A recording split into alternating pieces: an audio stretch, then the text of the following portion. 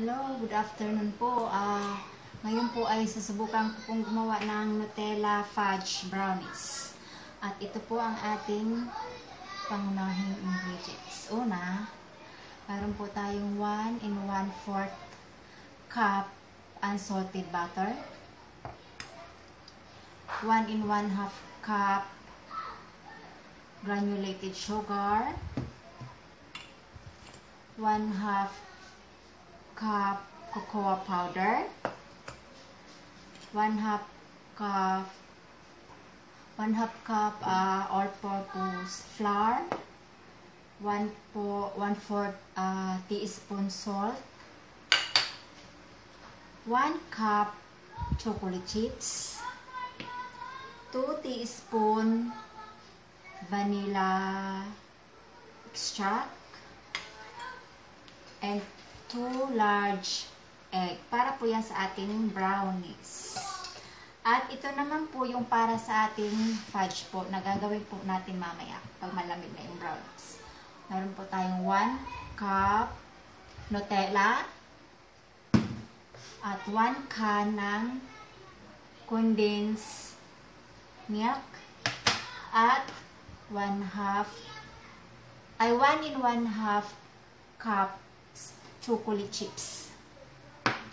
At dahil po kasi wala po kaming ano dito uh, microwave, kailangan po gumamit na lang, gagamit na lang po ako ng uh, double boiler na lang po para po dito sa pag-melt ng butter, granulated uh, sugar, uh, one half ay cocoa powder at salt. Okay po, uumpisahan na po natin. Ito po ang gagawin natin dahil wala po kami microwave po. So, yan, ilalagay ko na lang po yan dyan. 1 and 1 fourth cup ng butter, sugar, salt, and cocoa powder. Parang po na mag mamilk po siya. Hahalo-haluin na lang po hanggang sa mamilk po.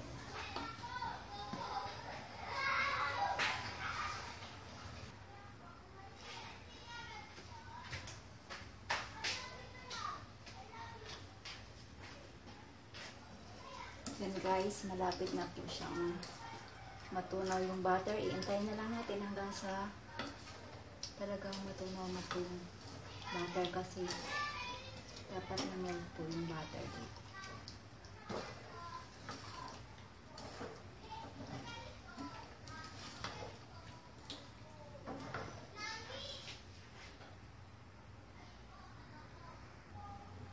Then guys, natunaw na po siya. Wala na po.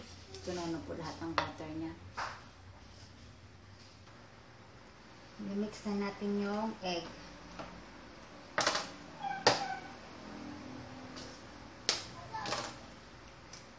One at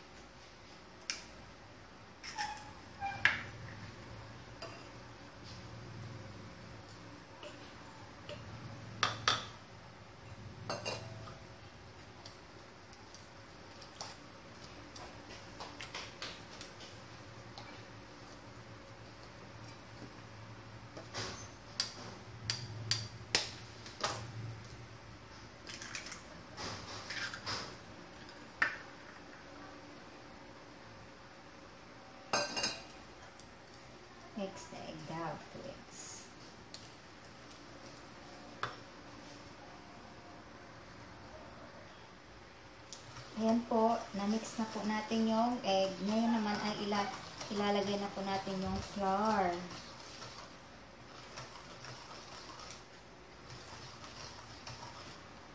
Ayan, vanilla.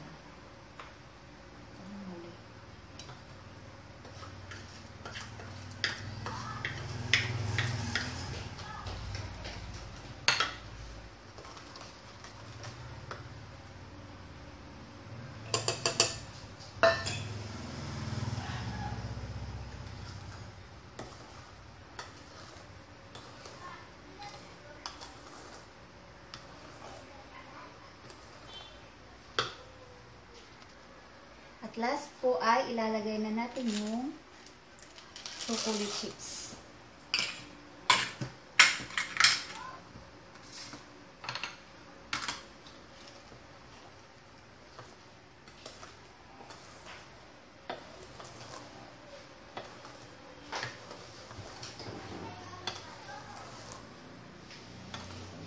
Fold lang po. Parang katulad lang ng flour.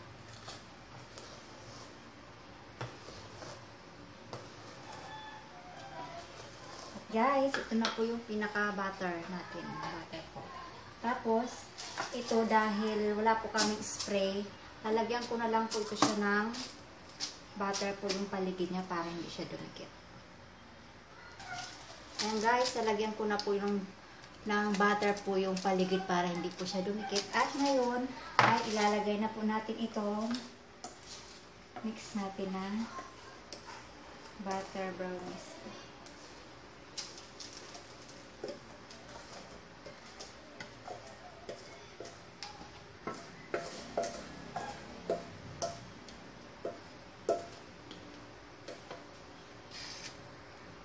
Siya guys. Ngayon ay ibibake na po natin siya sa ating oven ng 180 degrees or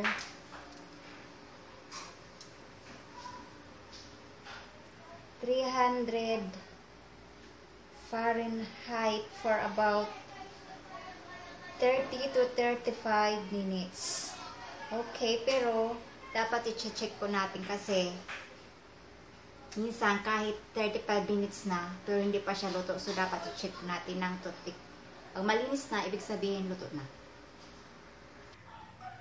Yan guys, nilagay na po natin siya sa loob ng oven po. For about 30 to 35 minutes po yan. Hintayin na lang natin hanggang sa maluto.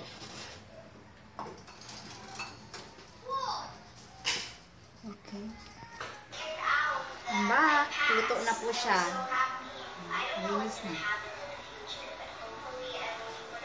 So, palalamigin na lang po natin. Tapos, gagawa na po ako ng Nutella fudge. Ah, babalik pa ako. Ngayon guys, dahil malamig na po ang ating brownies, ay tayo ay gagawa naman ng Nutella fudge.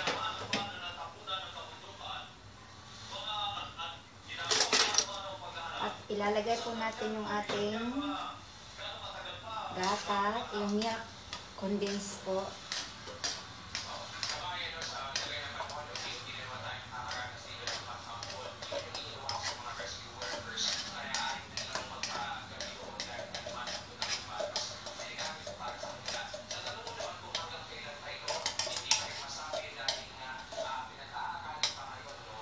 At ilalagay na natin yung ating Nutella.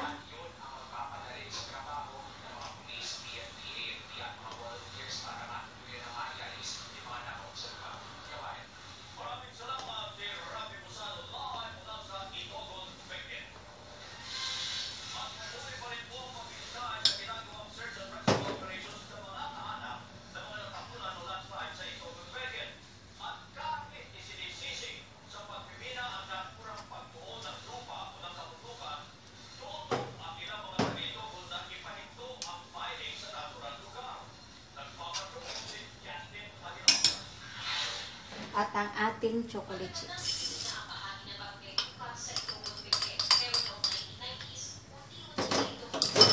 Mix. Mix, mix lang po natin ito hanggang sa matunaw po yung ating chocolate chips.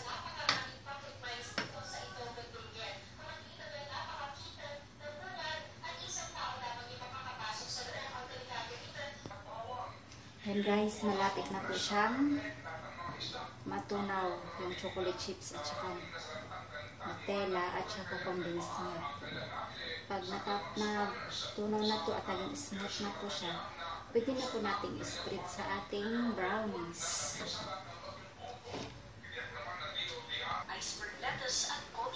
And guys, ready na po ang ating Nutella fudge at ready na po siyang spread sa ating brownies. Kaya yan ang gagawin. At ito, malamig na rin po yung ating brownies. Samantala, bukas na Carlos Highway at Nagirian Road papuntang Baclano, ABS-CBN. Ayan po, i-spread na po natin ang ating Nutella Industry. Pagkatapos po nito ay ating papalamigin sa ating. Pag malamig na, pwede na natin i-slice at kainin. Rice, Barangay Hall ng Commonwealth. Ayan po, papantayin lang po natin yung fudge natin. Presyo po naman natin din, normal masasabi ko. Pero sa mga pamilyang bayan sa Balintawak, ramdam naman ang epekto ng bagyong Ompong sa mga bilihin. Higit doble ang itinaas ng presyo ng mga gulay galing norte, lalo na sa repolyo, pechay bagyo, at patatas. Malaki kasi ang naging pinsala ng bagyo sa agrikultura. Pantay na po siya at pwede na po nating Region 1 nasa 3.3 billion pesos palamigin. At babalik pa ako ulit maya maya. And guys, ready na po ang ating Nutella fudge brownies po. Narinig na po siya at pwede na po natin itong i-slice.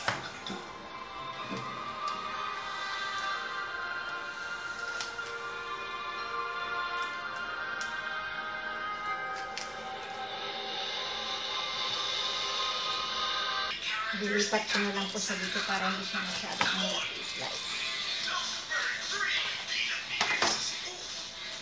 Ito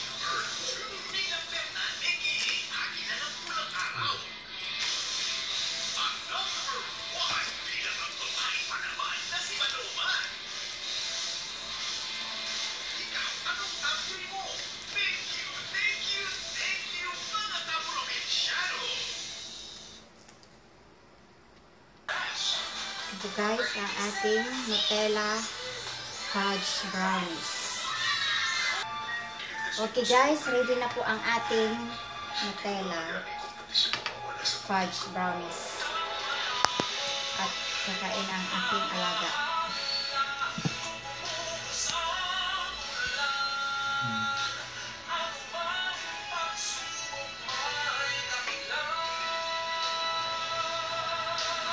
thank you for watching po and don't forget to subscribe. Bye! Bye! Bye.